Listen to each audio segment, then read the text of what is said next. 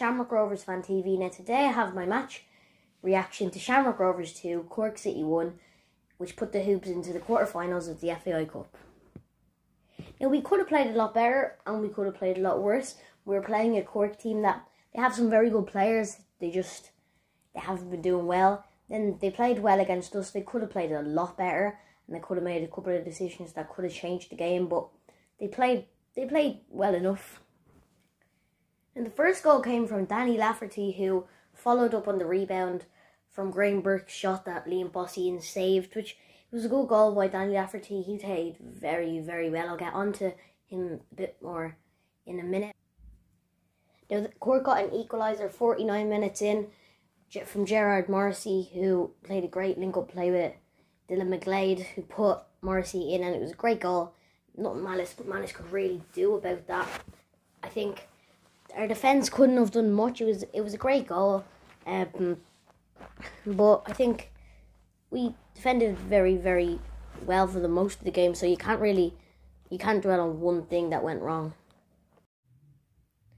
Now, one of the first things I'm going to talk about is our defence. I thought we did really well. Their striker was quite tall, like six foot five, and we we don't have a joint defence. We have some tall players, Berto and Lee and Joey. They're tall, but they're not giant. So I thought they did really well in the air today. And Pico did very well with his tracking back as well when he was up four corners, getting right back. So well done to them. And we talk Gary O'Neil was brilliant. He does all the work you don't see on the highlights. He's always there for the defence in case they need him, and he's very good on the ball. He's very composed. So when the defence are in trouble and they're doing well with their pressing, you always have Gary O'Neil to pass to, just like when Greg Bolger was playing. He's a bit like Bolger. They they're both brilliant. Now the starting eleven was quite a different starting eleven that you'd see on a league game, probably getting prepared for the Bohs game. We don't want anyone getting injured. Dean Williams started and Aaron McEneff. Um, Aaron McEneff didn't play, so I thought that was wouldn't happen in a league game. Dylan Watts did play and he did well.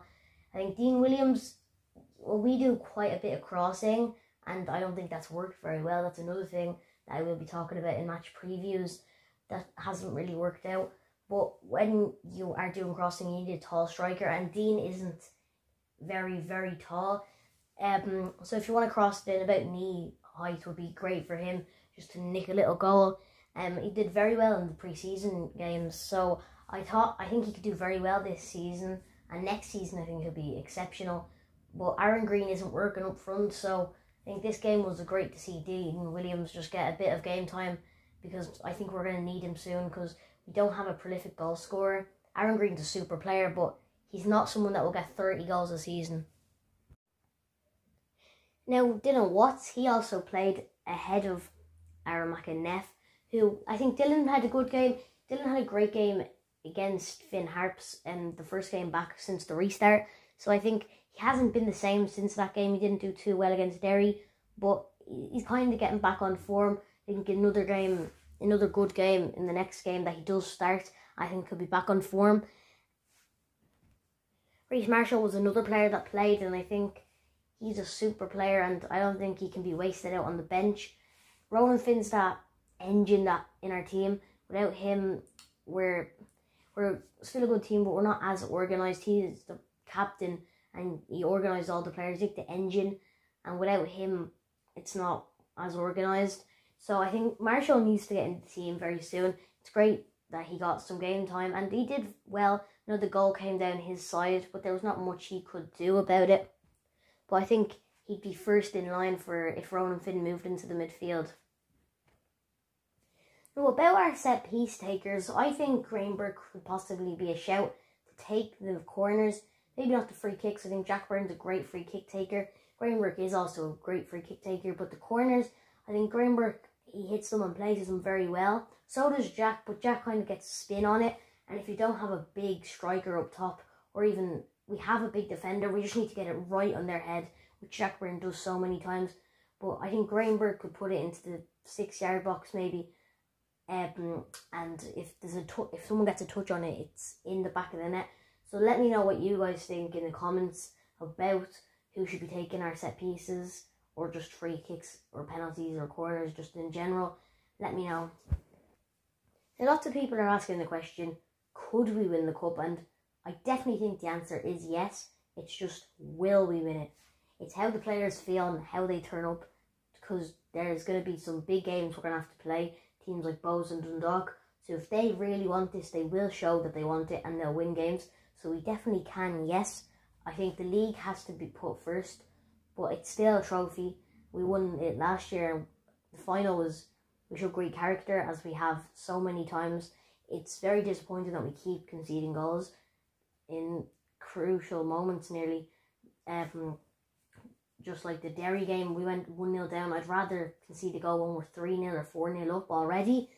But I think we get knocked down quite a lot, but we get right back up again, and we're great when we when we when we want to win. We're a super team. It's just we have to want to win every single game. Now on to my man of the match. I think it has to be Daniel Lafferty. Berto Lopes had a super game as well.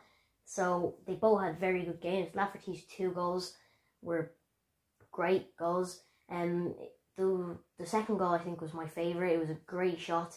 Nothing McNulty could have done about it. Right into the bottom right corner. Super, super goal. I think he should be starting over Neil Farrugia just for now. But I think next season Neil Farrugia will be a completely different player. The reason he did play, which he might have played anyway if Farrugia was there, but Farrugia was away with the Ireland under 21s training.